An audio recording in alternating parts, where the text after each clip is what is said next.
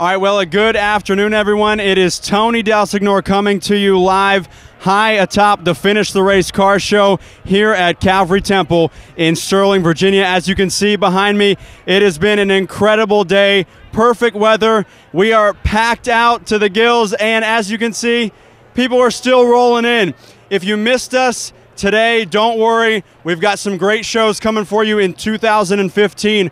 Our first show will be our spring show, April 11th. Make sure you put that down on your calendar. Hopefully, you can join us then. And make sure you check out our YouTube channel, Finish the Race VA, all one word. That's Finish the Race VA all one word on YouTube. Check out our interviews and some of the pictures from today's event. And we hope to see you next year at the Finish the Race Car and Motorcycle Show.